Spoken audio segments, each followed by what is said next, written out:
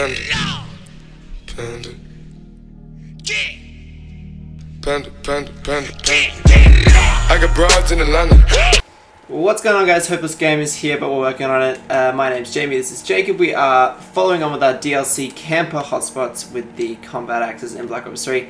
Um, and we also do some sniper lines of sight, but we'll get to them during the end. Uh, we're going to start off with these guys, just the straight up run-of-the-mill window in this uh, this remake of uh, what's the map? Standoff. Standoff. So you just want to push into this little crate corner here with the wall. Uh, look up. Um, uh, I think it's these ones. um, there's two little slats there. You just want to line your Combat Axe reticle up perfectly in line, and then just a touch to the left, um, and just throw away over the map. Goes right into the window. It's Yep. a super sick shot. You really can't miss it if they're in that window there. It's going to be pretty hard to miss that. These shots on this map, if you just saw the kill cam, they're they're pretty straightforward. We've we've gone for two window shots here. The next one is this one that I just jumped out of. Um, very very straightforward shots that sort of.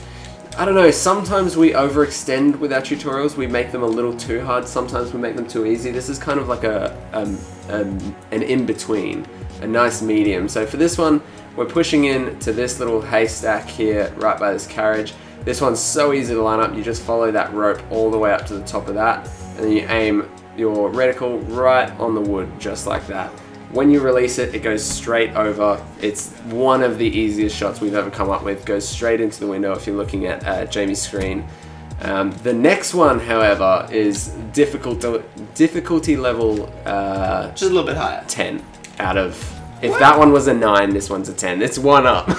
Yeah, no, it's, It's not, not- that, it's not that hard, but it's it's, for these guys here. They camp on the corner. They just sort of swing in between, like yeah, in between the edge of the building there. So they're out in the open. So we've gone with the high as you can, sort of um, looping arch spot. So push in here between the fence and the uh, and the wall.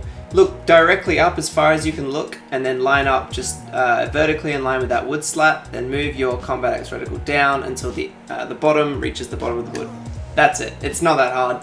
Um, but you do it, do- does require a little bit of movement. Really sick, like it hits them on the head first go. It's it's actually incredible that these shots are as accurate as they are. We we are standing pretty in pretty simple spots. They're coming off every time.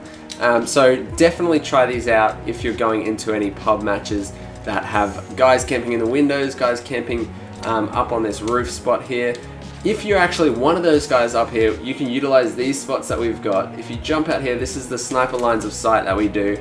Jumping on top of this, what I think is an outhouse here, you can actually see up into the blue windows over the other side of the map. If you can see Jamie down there, it's pretty easy to line up. And once you're in position, you can take that shot and, oh, I almost got it first go. That would have been much better and take the shot just like that. You just jump back into the window where all those campers chill. If you can make it in here and you can make it your own, jump up on this chair here and look over to the other window there. This is one of the best sniper lines of sight that we've ever come up with. You cannot be seen from this angle and you have the whole horizontal scope of that room. So if you're ever just playing this game, I would suggest this is the best spot. Yeah, I probably In the whole- it's in one the of whole our map? one of our best sniper spots we've found. just sit here and pick them off. If you enjoyed these, if you're going to use these, if you do use these and they work for you, leave a comment in the comment section down below or leave a like for the video so that other people both. can see it.